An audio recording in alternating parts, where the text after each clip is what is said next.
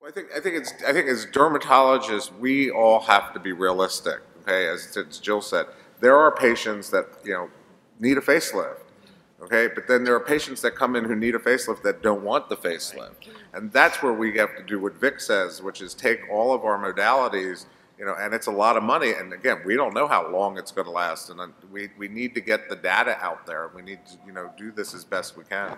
Jill? Yeah, one thing I would say is that, you know, as a laser resurfacing person, I do, it. that's probably my number one procedure, is if you do a really good laser resurfacing procedure and at the end of the, you know, the, the six-month follow-up, they don't have wrinkles, in my experience, those hold, you know, five years, even even longer.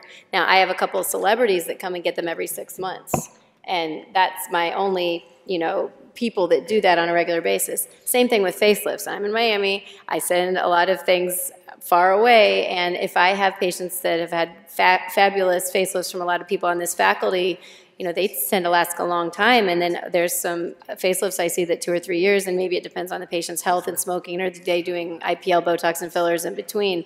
But I think a lot of it has to do with the art of aesthetic surgery. It does have to do with the surgeon. It does have to do with the patient. You know, if you if you're a surgeon, you, there's tissue and then there's tissue. Um, but the um, so I, I think that's that's the case. I think that I wanted to say that I honestly tell when I'm just talking about a narrow when when someone comes in and they want non-invasive tissue tightening, uh, it's not a joke. I honestly tell this to every single patient at the end of my day. It's variable. I tell them why. I can't control your immune system. You can't control your immune system. It's a response to the heat or whatever we're doing.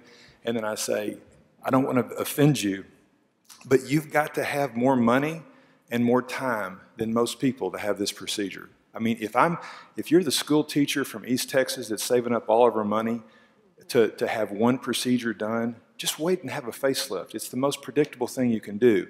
But if, but, but, and then a lot of my patients go, I got the money and I got the time, let's go. And that's fine, but I tell every single patient that, and it gets their attention, and, and if they walk out the door, I'm fine with that.